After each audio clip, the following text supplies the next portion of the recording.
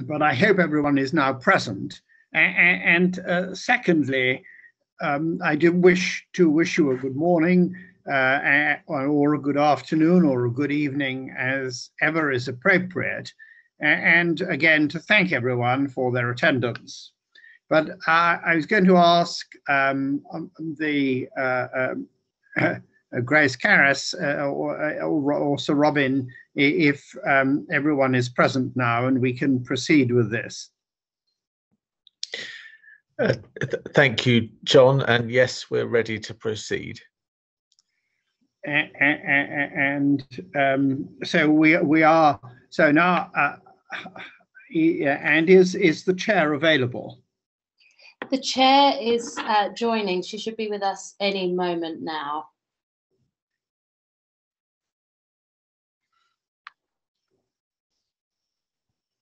If anyone has any uh,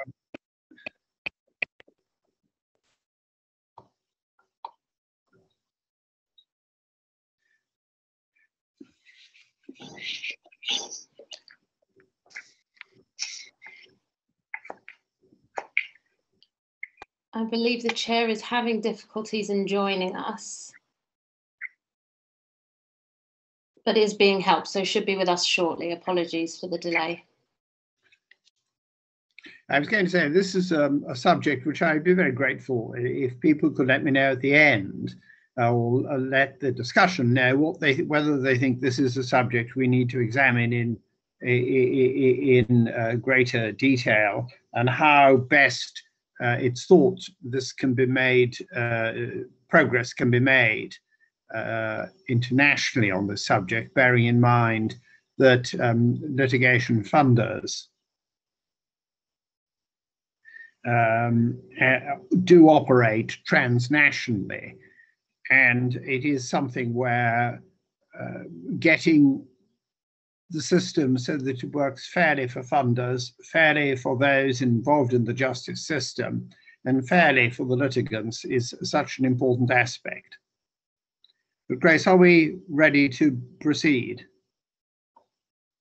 I've just received um, notice that uh, Judge Preska should be with us in the next two minutes.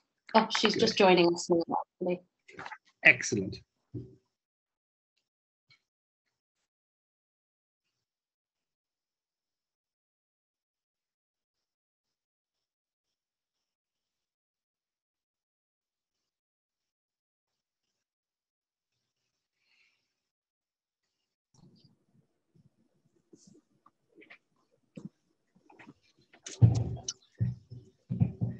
I was going to, I wished everyone a good afternoon, um, uh, Judge Preska, Judge Loretta Preska. It's wonderful to see you, and I hope all is working well.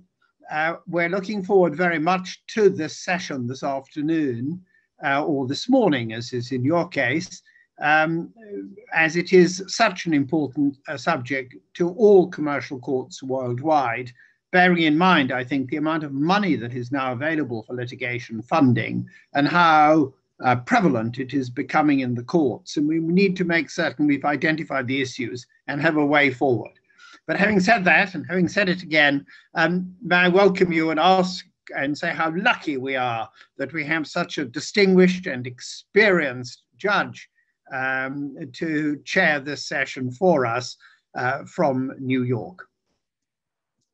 Thank you, Lord Thomas. And I will just mention that I am a living illustration of the need for technology training among judges of a certain age. Thank goodness, with the help of our Singapore tech staff, I've been able to get in. So thank you all. It's an honor to be with you today. Now, some of you might recall that when we met in New York, litigation funding was a radar issue on our screen. Because it's evolving so quickly, I, would, I think the most valuable thing that we can all do is share the experiences of our commercial courts around the world. And therefore, I will encourage you all to, um, to contribute and to give us your comments as we go forward during this session. Now, since we last met in New York, we've seen massive growth in third-party litigation funding. Um, as Minister Tong told us in Singapore, Singapore has adopted a light touch rule of regulation, primarily affected by guidelines. Justice Middleton of Australia told us in his paper about the proposals for rather strict guidelines in Australia, including disclosure of third-party litigation agreements, securities for costs, uh, requirements that funders um, efficiently resolve cases, and I thought most interestingly, providing that funding agreements are effective only upon the agreement of the court. In the US, I can report to you that there is no uniform federal regulation. There was a bill introduced into Congress to establish uniform disclosure requirements for class actions and multi-district litigation cases. Multi-district litigation cases are where numerous similar lawsuits are transferred to one federal court for coordinated pretrial discovery and hopefully resolution. These kinds of cases are often product liability cases, airplane crashes, and the like. Now, many of the states have started imposing requirements on litigation funders. Some merely require disclosure of the fact of funding. Some require disclosure of the terms and conditions of the agreement. Some require uh, funders to register with the state. Some require the inclusion in agreements of various provisions and safeguards. Many states have abolished their champerty regulations. That is, their regulations that prohibit third parties from taking a financial interest in a lawsuit. And many federal courts on an ad hoc basis are requiring disclosure either of the fact of litigation funding or of the terms and conditions of the agreements.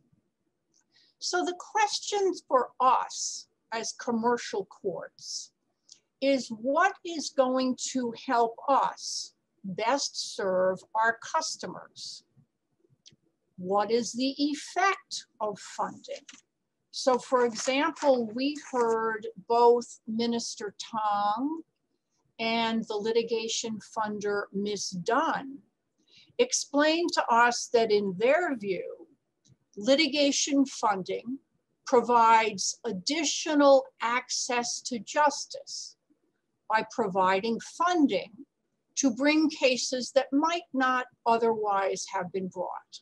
And I emphasize they said to bring meritorious cases that might not otherwise have been brought.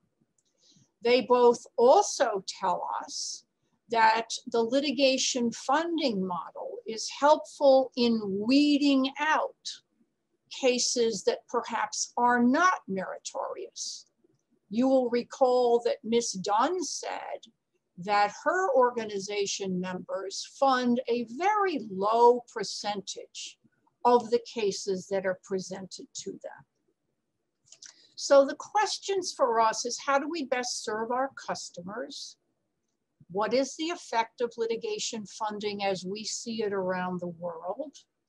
How do we maintain high standards? What is the role of the courts? Is there a role for the courts or, as we now know, uh, should we rely on self-regulation as apparently we do in England and Wales. Um, and I can provide for you a, a personal question that is being that I'm dealing with right now. That's another wrinkle on the litigation funding issue. In 2008, a group of investors purchased shares in YPF, an Argentine energy company.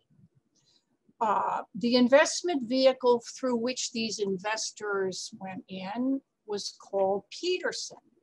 And eventually Petersen entered bankruptcy. The receiver in the Petersen bankruptcy wanted to figure out how to fund the litigation of claims against YPF and Argentina, and therefore entered into conversations with Burford Capital. Burford, as you probably know, is one of the largest litigation funders and indeed is publicly traded in the United States. Needless to say, prior to entering an agreement, Burford did its due diligence on the claims. And again, needless to say, had numerous communications with the YP, the um, Petersen receiver and with all of the lawyers. Now, in the litigation where the claims against Argentina and YPF are being litigated, the litigation funder has claimed that all of those pre-agreement discussions are privileged, either under the work product privilege or the attorney-client privilege. So as you can imagine, that is a massive amount of material. The briefing is ongoing, and I look forward to updating you the next time we are together. So, um, oh dear. Did I go off?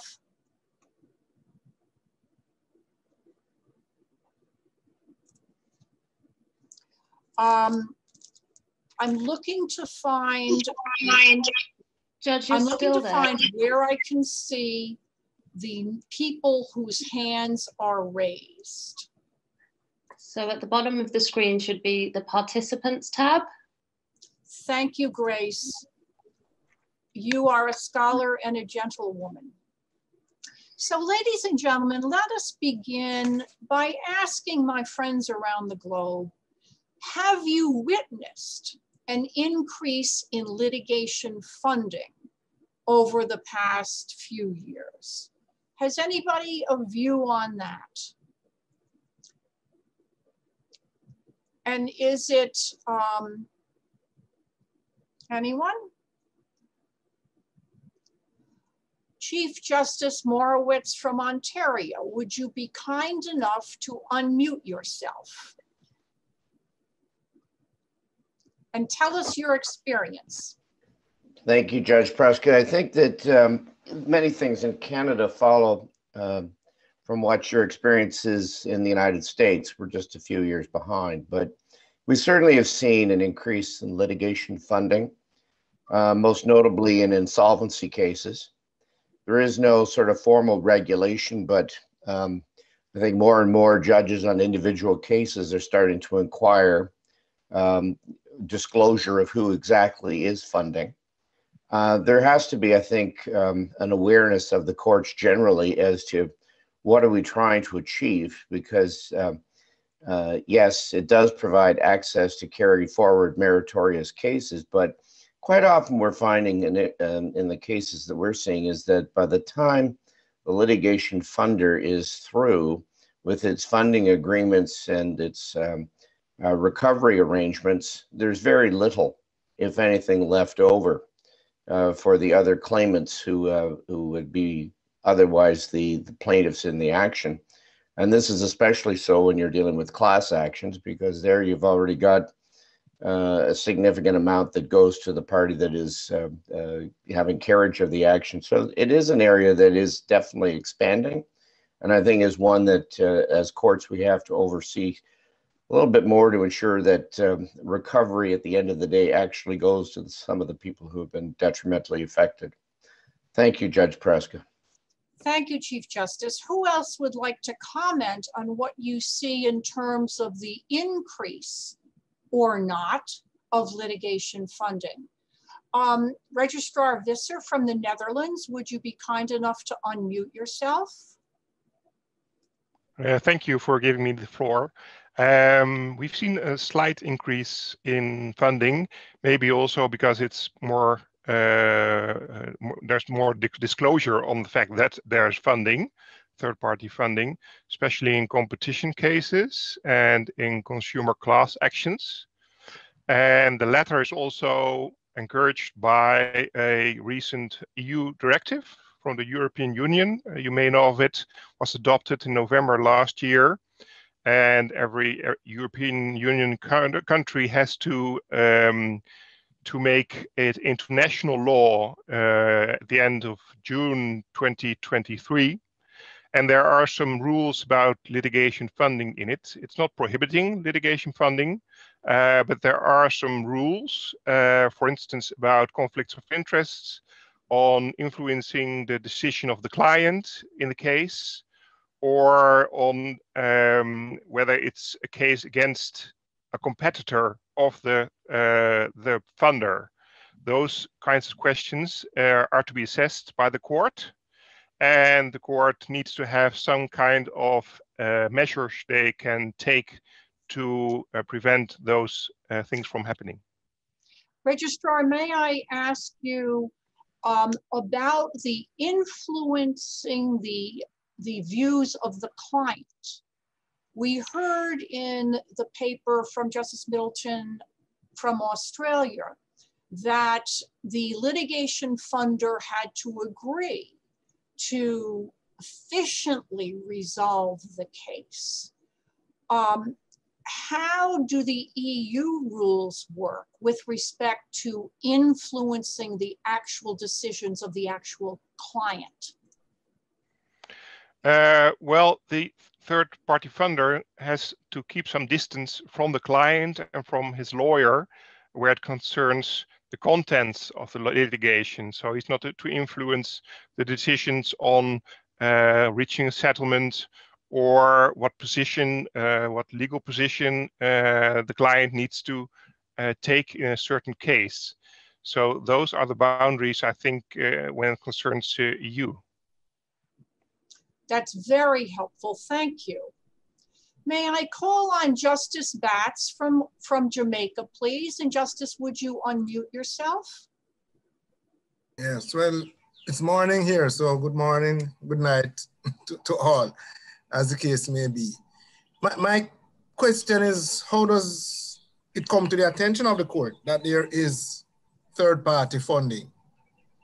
This is not a issue that arises generally in our jurisdiction.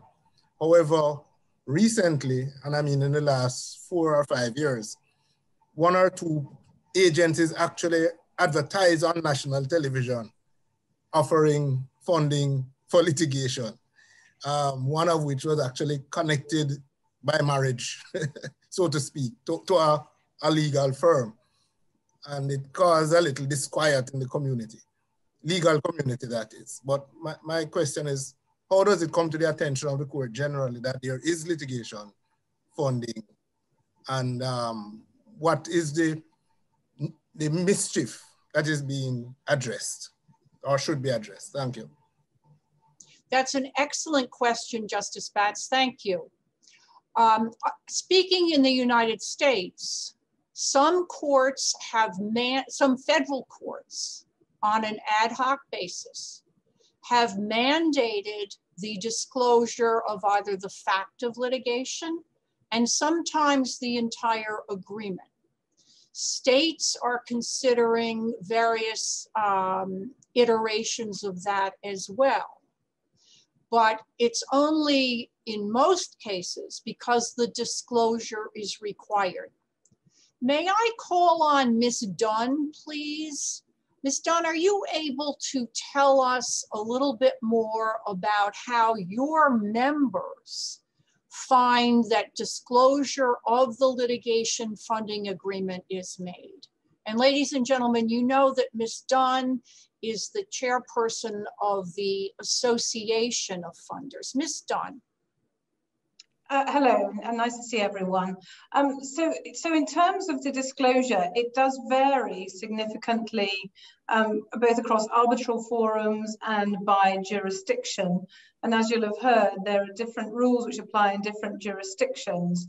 Uh, so it, it, really does vary jurisdiction by jurisdiction. And I think the, the good question that was just asked uh, by Justice Batts was, what is the mischief that one is trying to address about funding. Because if you strip it right back, I mean, what are we doing? Somebody else is paying the bills. That's not desperately exciting on its face, but it's a question of, well, is there any other influence that is being uh, made by the presence of a funder?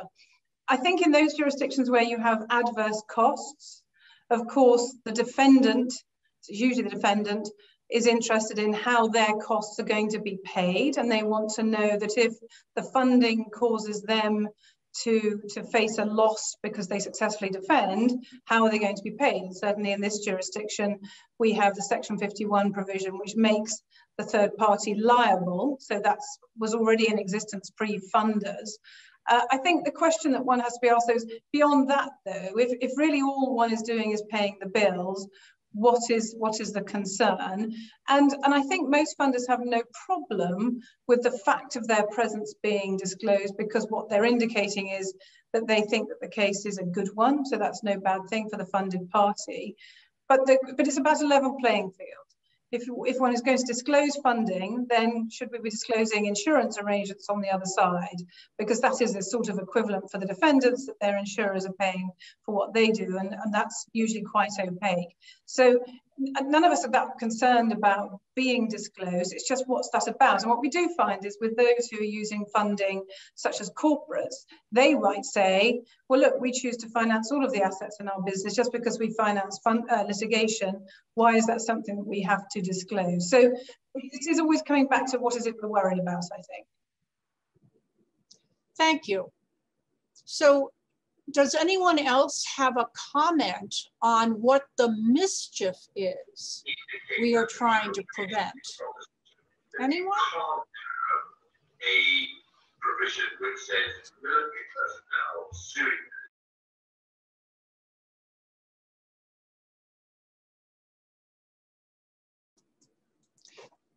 What have you seen in terms of the effects of litigation funding.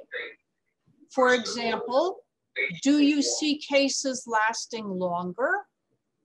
Do you see and are you able to determine whether or not less meritorious claims have been weeded out?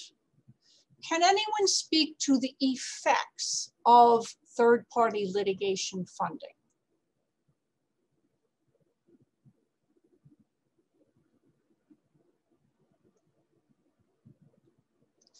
May I ask Chief Justice Morawetz from Ontario to speak up again and unmute himself? Thank you, Judge Preska. Just following up where Ms. Dunn was commenting, um, you know, I think what we're seeing, certainly in Ontario, is that the cases where litigation funding is involved, there is merit in the case. And I think it speaks very much to the fact that uh, you've got experts in the field who have done their due diligence, as you outlined before, and uh, the cases that they choose to funding are the ones that they think they've got a substantial chance of uh, achieving a level of success. So I think it does it does serve the uh, the purpose of weeding out the uh, the uh, cases that have no merit. Thank you. Wonderful. Um, Chief Justice Hope, please, would you unmute yourself?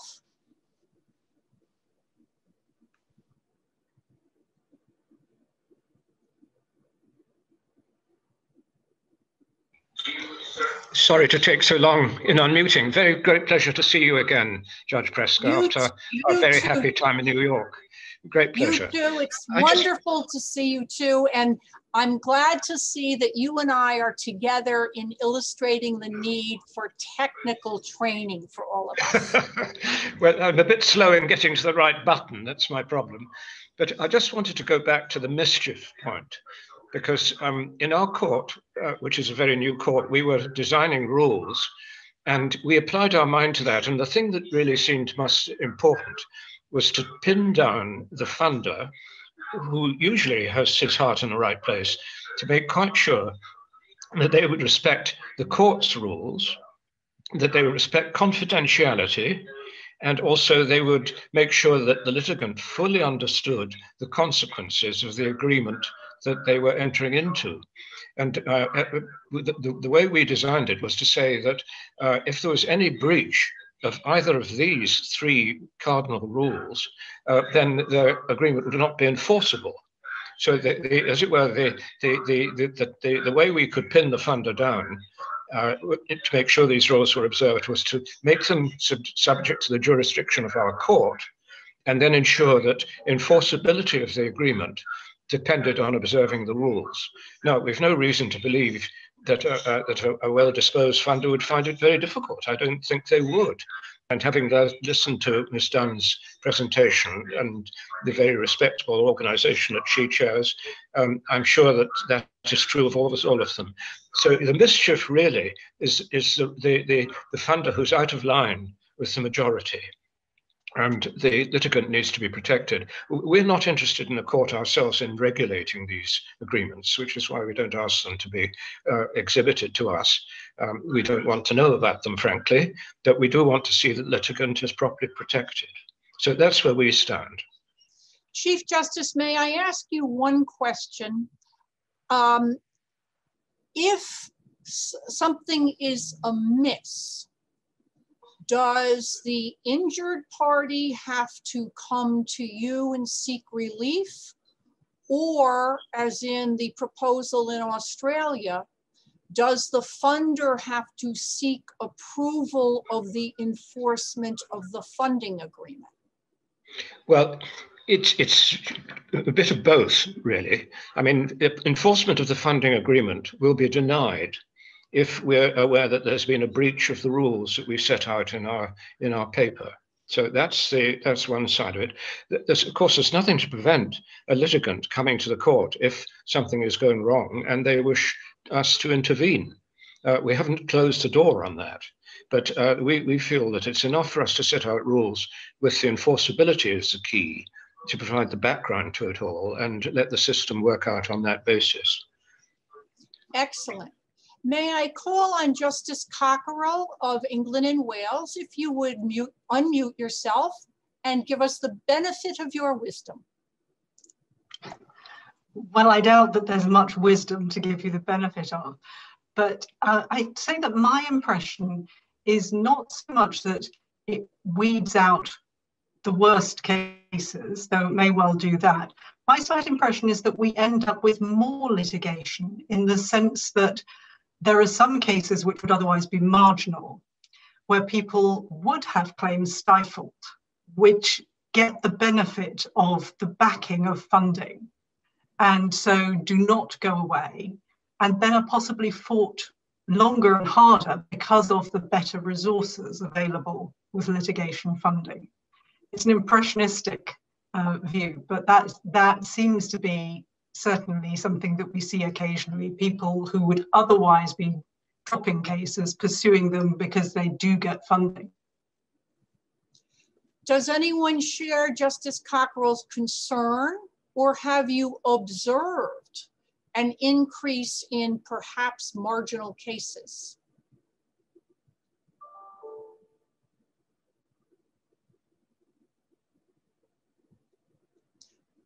Justice Cockerill, I think you are ahead of the pack on this one. Going back to what Chief Justice Hope said, he said that it's not any, the courts really don't want to be involved in this regulation. What do we all think about that? Do we think we are better served by court rules? Do we think that self-regulation by the funders is the key? do we feel that laying out very broad standards is the way to go? Or do we think that we have to require security for costs, permission to enforce, and the like?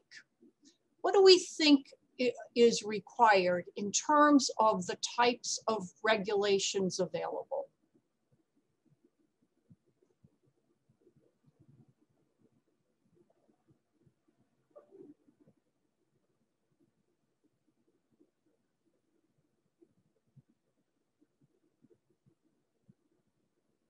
Or could we have a comment from Australia about the proposed rules? And I know uh, Chief Justice Alsop has seen a great deal of this. Any views on how the regulation and the type of regulation is working?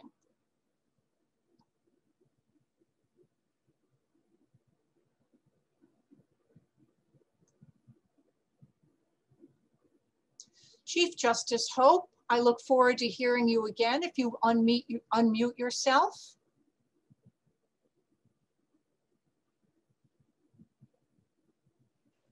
Yes, um, it's an interesting question you ask. I mean, uh, the, the, question is should it be by primary legislation, as I think the Australian Law Commission is, um, is promoting or trying to promote, or is it left to the courts? Um, in the situation in which we're placed in Abu Dhabi as an offshore court, uh, we have to do it for ourselves. That's just the nature of the uh, regime in which we, we exist. But I, I, don't see any reason why the courts should not make their own rules. If they have a rule-making power, uh, then they can make their own rules and um, adjust those rules according to their own circumstances. Uh, one of the problems with legislation is it's quite difficult to change if it doesn't seem to be suited for the situation. And I'm a believer in, in the court can, retaining as much control over its own affairs as it can through its own rules or practice directions. And that's really the, the way we've approached it. And um, uh, uh of course, where, where, we are in Abu Dhabi, uh, uh, I think we have the practitioners on our side on that. We consulted them before we set out the rules, and uh, the rules have their approval. So I, I would encourage the courts to see this as something that they can provide for if they're concerned about it. If there's primary legislation, well, that's fine. That, then the problem is solved. But I wouldn't wait for legislation. And I wonder whether the Australian courts can't uh, uh, uh, be a little more forthcoming about this. I wonder indeed whether any of them have. I mean, I'd be surprised if New South Wales, for example, hasn't taken some steps to control the situation. Uh, I hope there are some on this at this meeting who might be able to enlighten us. Thank you, Chief Justice Hope. May I recognize Registrar Visser from the Netherlands and ask him to unmute himself? Uh, thank you, Judge Preska. Um, as I said, in the EU, the legislative uh, drill has been uh, used. So all EU countries have to pass legislation on this, uh, but in a uniform way. And I think that helps funders to predict the outcome of their involvement in proceedings in the European Union, um, as well as the European Court of Justice saying uh, if there are any inconsistencies in the legislation of the application of the legislation on third parties, they have the final say. Uh, whereas if it's left up to the individual uh, the judicial bodies of each member state, it can go either way, and that's not good for multinational uh, th uh, third-party uh, funding, I think. So, Registrar, do I understand you correctly that the individual country courts retain no discretion to vary the rules? Is that right? No, I think that's correct. Yeah, there, uh, the the European um, directive uh, uh, prescribes for all EU member states how to uh, assess third-party litigation. and the, all the EU member states have to implement that into national legislation and there's no not a lot of leeway to uh, to uh, to to get to do it differently. Uh, that being said, I think the the, the restrictions in the EU directive on third lit party litigations are so broad that I can think of any situation that would not be covered by it. So I think it's good thing that uh, in the EU there's a legislative process for this. And one more question, Registrar. Would you anticipate any difference in interpretation of the rules from country to country? Well, there is uh, an explanation, uh, memorandum of, of, explanation for the uh, EU directive uh, that uh, outlines why these rules are implemented and what the background is. Uh, the rules are very clear on what the boundaries are for third-party litigation. So I'm not expecting any large discrepancies between member states in implementing these rules. Uh, besides that, the Euro European Commission will also uh, ask member states to uh, send them their legislation, what they are proposing in their in their own country. Um, and the European Court of Justice, of course, has the final say. So I don't think there will be uh, much discrepancy between the, the member states. Thank you, Registrar. May I recognize Justice Charles Ramos, who has just recently retired from the Commercial Division in the New York State Courts. Justice Ramos, would you unmute yourself? Good morning. Can you hear me? Yes, sir. Speak loudly, Charlie. Yes, of course. Hi, Loretta. How are you? Excellent. Um, notwithstanding the fact that I've retired, I'm working harder now than I was when I was in the court. Um, I'm even working for the Circuit Court of Appeals um, in New York, the federal court. One problem that did arise before us in the commercial division, I don't know how common it is. Um, so many attorneys, uh, large firms anyway, are headquartered or have offices in New York that when a dispute arises between the funder and counsel, they end up litigating a dispute about the funding and the legal fee in New York instead of the court in which was handling the underlying case. So I had a case involving a, a litigation in Kentucky, and I ended up with a multi-year litigation between the funder and the attorney in New York. Uh, and Charlie, was, may I ask you? May I ask you? Was that just a regular contractual choice of forum clause in the litigation funding agreement? I don't think so. I, I think they just, we had jurisdiction of both parties in New York, so they brought the action in New York. I think counsel was a New York based firm, and it was more convenient for them to do it in New York County. Uh, I don't know how common it is, but I like the idea for a number of reasons of having local regulations with regard to disclosure and the resolution of any disputes involving the funding to be handled in the court where the case was pending instead of having to export it somewhere somewhere else. I don't know if it's been a problem for other people, but it was a, a very um, contentious bit of litigation before us. And as I, under, as I understand the proposal in Australia, because the permission of the court is required to enforce the funding agreement, it would necessarily be in the court where the litigation took place. I like that. I do. I see that. Who nice else on this topic? Charles, go ahead. No, I'm fine. I'm done. Thanks. Thank you very much. Ms. Dunn, do you have any views on that problem, the problem of the enforcement of the contract being uh, litigated in a different court from the court in which the underlying dispute was litigated? Yeah, well, it's a it's a good point, and I and I agree with Judge Ramos that it's much better that the judge who was concerned with the dispute as a whole, who has the full context for it, should actually decide that, if you like, side issue as well.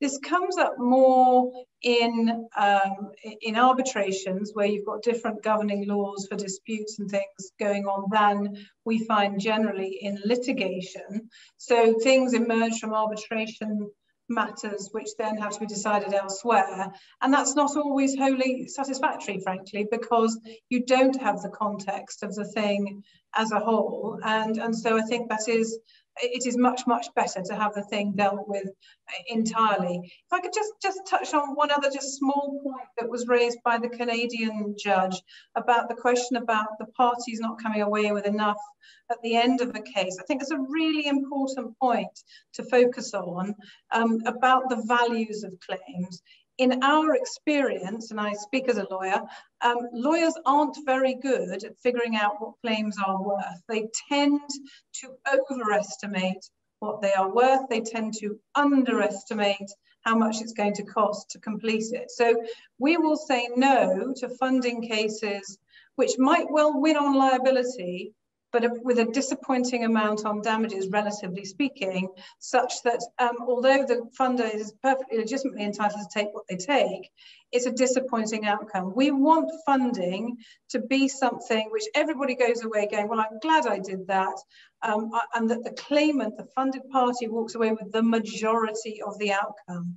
So we're very testing about values of claims and budgets. Those are the two thorniest issues in a funder's life.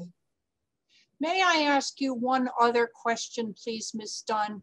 What is your reaction to Chief Justice Cockerill's concern that because the funding is available, we, the courts, might find ourselves with more cases that might be marginal? Yes, I think it's it's an interesting point. Uh, I, I still believe that we weed out a lot of things. I still hold that true. I think what that boils down to, like anything in life, is those more marginal cases are most likely to be taken by people who are relatively new funders, who are quite inexperienced I've been doing this nearly 20 years. I have to say I'm deeply conservative, having had lots of uh, uh, quite tricky experiences along the way of things that don't turn out, particularly the value piece. Um, and I think Justice Cockerill may have a point, but in relation to those who are less experienced. But in life, there are people who are less experienced about lots of things. Um, I still think that the relative number of cases that are funded is very, very small. Um, and I think some of the higher profile class actions, etc., can tend to make it seem like there are many more funded cases than there really are. Justice Cockerill, I know you want an opportunity to comment. No, I just wanted to come back and say you phrased it as a concern that I raised. I'm not sure it was intended to be that. I think my point was in part that some of these cases, which are borderline on the merits, and somebody has got financial issues, would previously have been stifled, either at the initial stage because they haven't got enough money to start, or because when things get tough, they haven't got enough backing. And so you may get more litigation, but a number of these claims will turn out to be good ones. So it's it, there may be an aspect of concern, but there's also an aspect of this being a thoroughly good thing. Exactly. Justice Ramos, would you unmute yourself, please?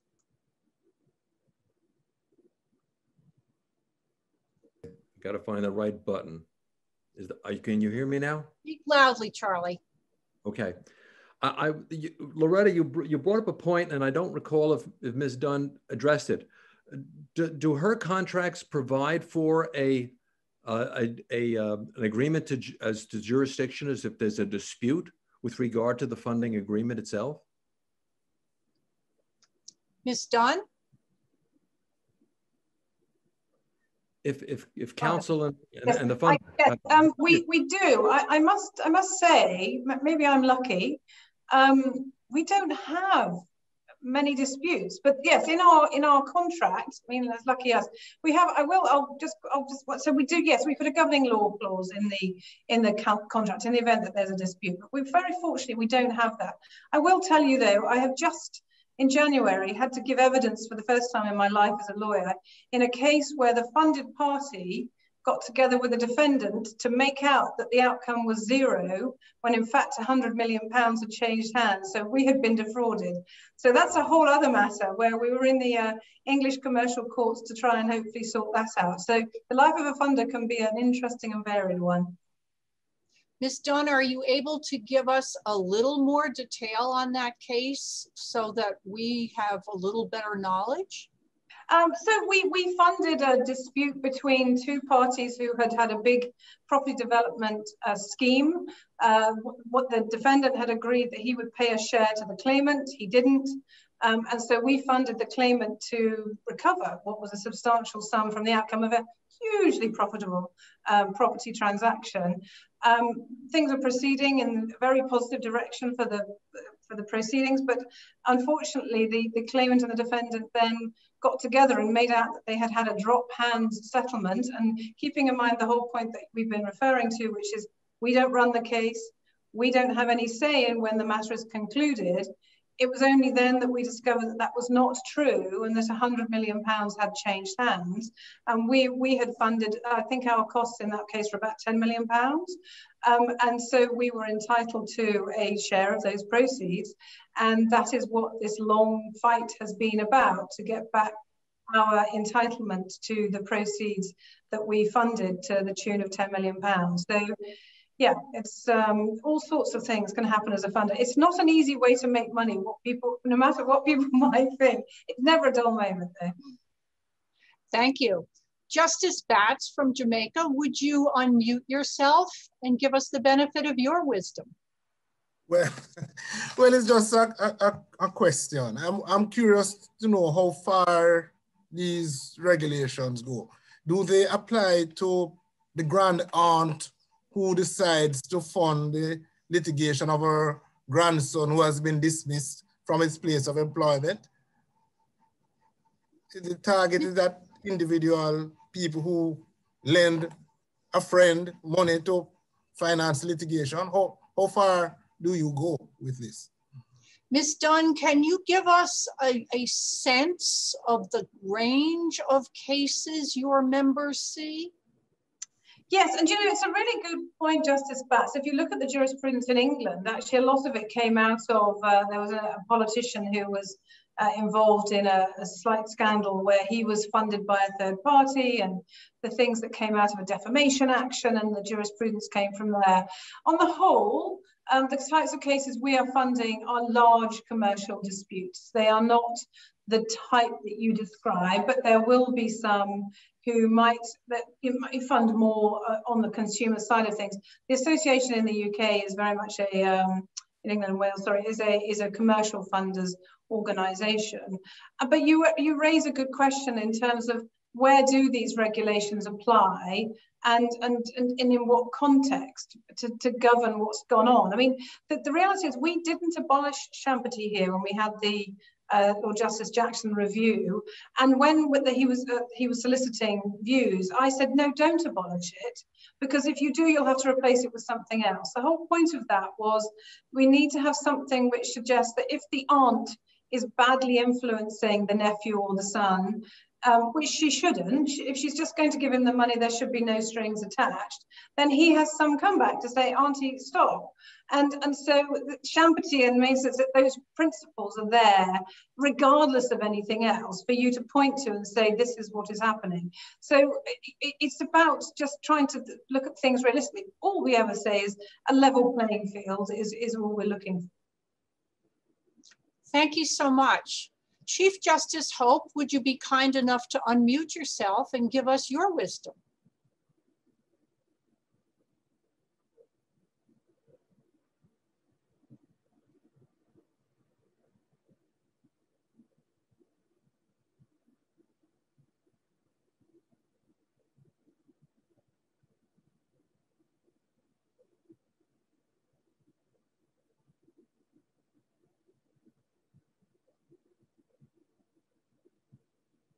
Chief Justice Hope, I think you turned off your video, but you didn't turn on your microphone. And I thank you again for making me feel good in my technical inabilities.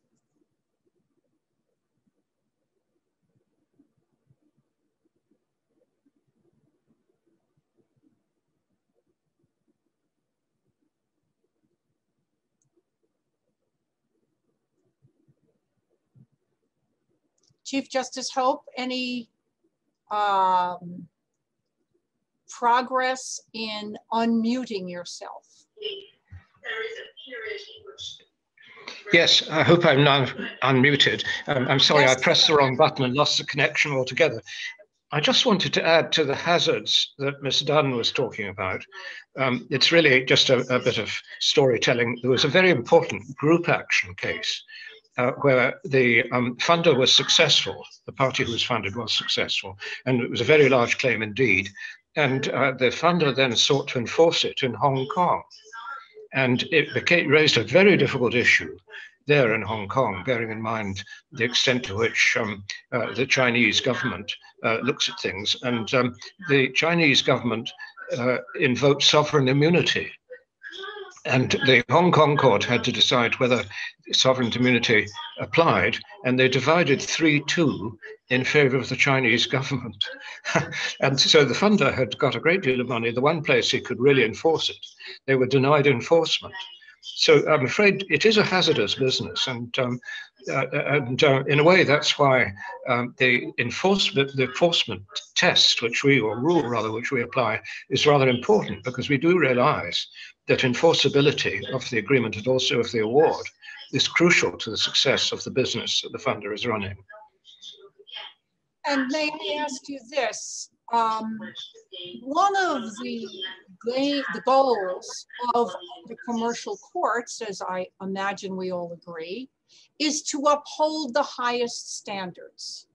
So the question is, do, does our, if we, the courts, retain power over the enforcement of the agreements, do you think, Chief Justice Hope or anyone else, that that will help us uphold the highest standards of conduct?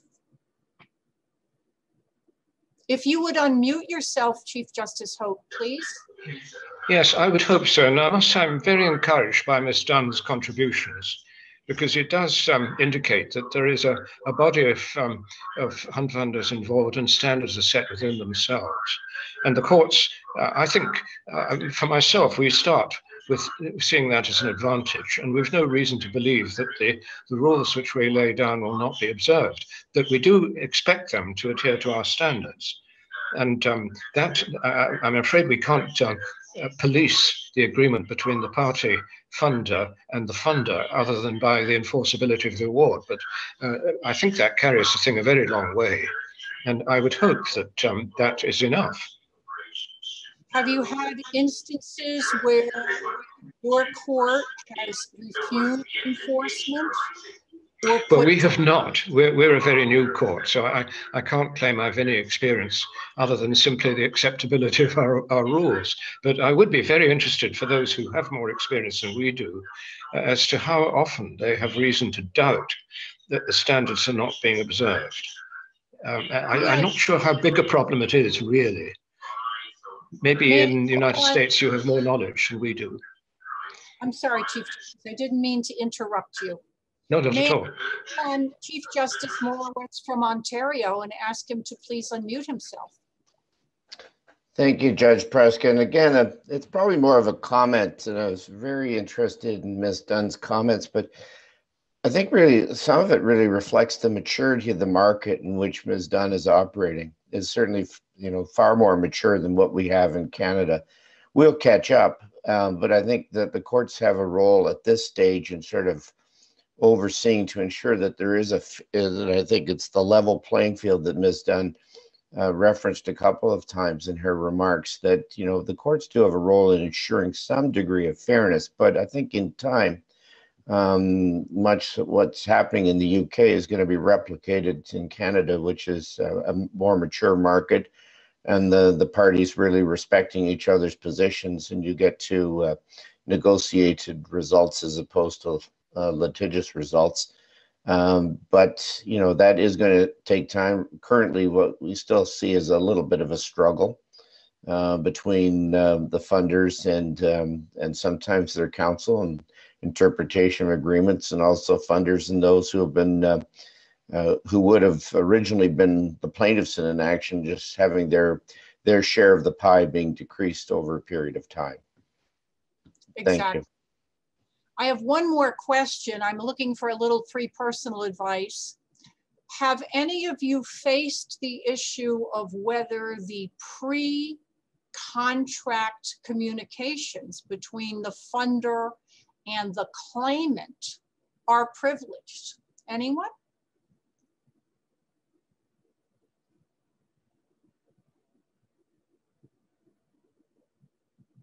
Chief Justice Morawetz, please. Uh, that is um, very much an issue that's in dispute. Uh, and, uh, you know, funders uh, quite often will want to, uh, they will disclose the agreements to the court, but then they'll ask for a sealing order.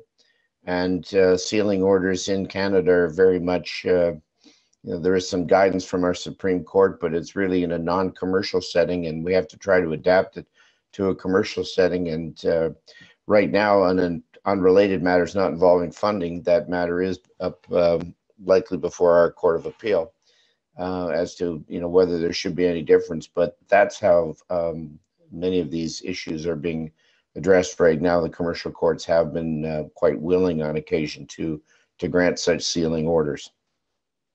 Excellent. I look forward to hearing the developments. Ms. Dunn, would you be kind enough to unmute yourself?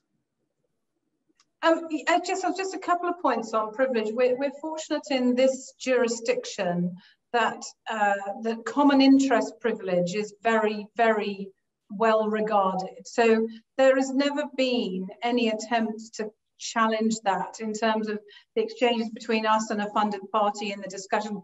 We put in place at the very outset a, a common interest privilege and confidentiality agreement to ensure that that is the case. So it just deals with it. But I do recall a very early case that I funded in the United States because the because the uh, contract was governed by English law, there was a question about privilege that was raised, and because we were able to point to the fact that the whole the whole agreement was governed by English law, we had an English barrister submit a, a, a, an affidavit about common interest privilege, and that dealt with it.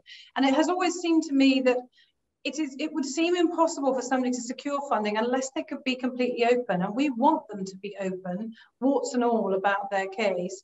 But i know that it's not quite the same as the sort of doctrines that you have there from work product to whatever. It's it's hard but i suppose my my point is how can we get the truth and how can we fully investigate if we don't have everybody being unafraid to share and answer questions correctly Yes, ma'am.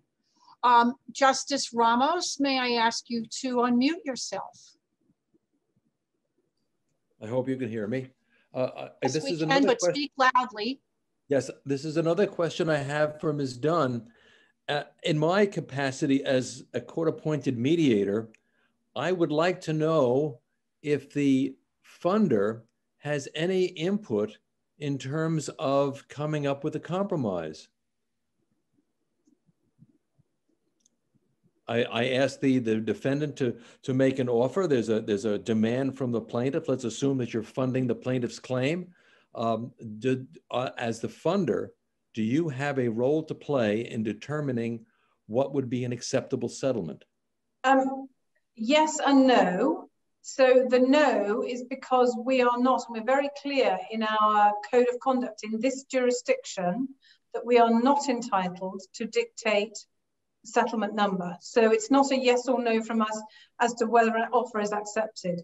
All of that said, usually the funded party comes to us and says, well, what do you think? And of course, we will say, well, at this stage, under the agreement, you owe us this much. This is what the outcomes will look like. Defendants often assume, and mediators sometimes assume, we have a greater role than we do. So sometimes we'll get asked to attend a mediation. We go, it's not much point because it's not down to us. Um, but they think, I think part of it is they want us to know what's going on so that we're fully, you know, blessed with the facts of everything that is going on, which I think is a good idea because uh, we never want anything to be hidden. We want to have all the full facts. But in this jurisdiction, it is absolutely clear that we have no right to do so. The only thing we think we're allowed to do is in our funding agreement, we have our own mediation provision that says if the funded party has acted against its own legal advisor's legal advice, we can agree to refer that to a mediator. Again, in nearly 20 years, we have never exercised that provision. Congratulations. Thank you. Okay. I think we are getting to the witching hour. Grace, am I right?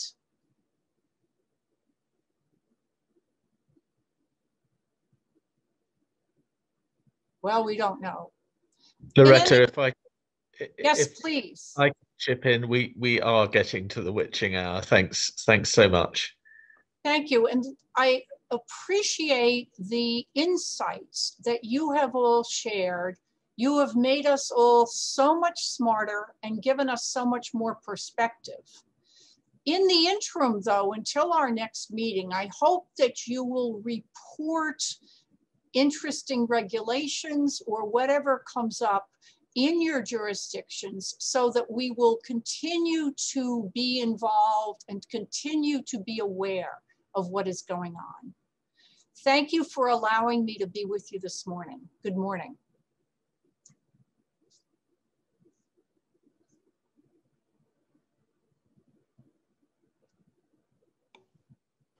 May I, on everyone's behalf, thank you, uh, uh, Judge Loretta Preska, for chairing this uh, very interesting session. I think we've all benefited greatly from it, uh, and it's particularly kind of uh, Dunn to come along and speak to us. And I hope this liaison between the commercial courts of the world and the major funders can continue, because I think it's to the mutual benefit of all. We properly understand issues that arise. Uh, but this, I think, brings the session to an end today. Um, and um, we begin at various hours tomorrow morning. It is terribly difficult, spanning the entire world. Uh, and that's why, unfortunately, on this occasion, we didn't have anyone from Australia, which seems to have got the uh, more uh, developed uh, legislation in some areas. Thank you all very much indeed. And we meet again uh, tomorrow at a time uh, that will vary from time zone to time zone. Unless there's anything else, Grace, that we need to say, we'll bring the session to an end.